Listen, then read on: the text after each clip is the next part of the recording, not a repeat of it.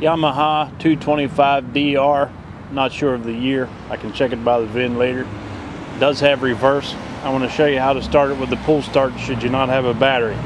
This vehicle does have a brand new battery. I just installed it today. It does start very well with the new battery. But should you have a dead battery, I want to show you how to start it just by pull start.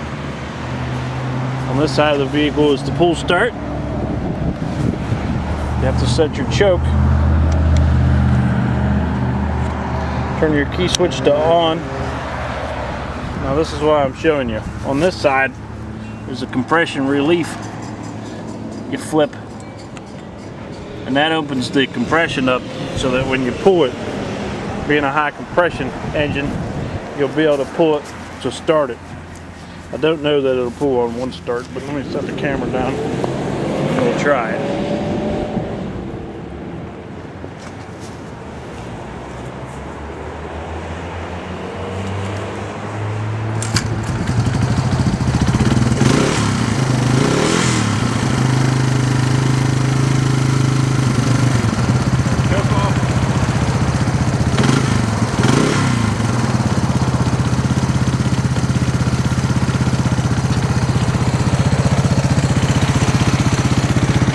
Front headlight works.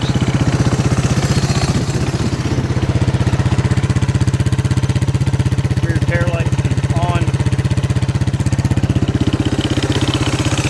After you start it, compression valve goes back shut.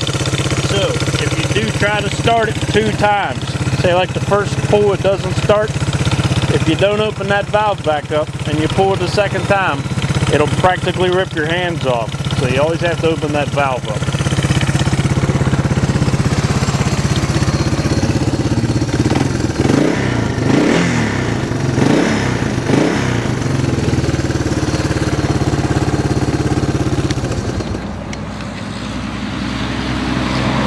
Thank you.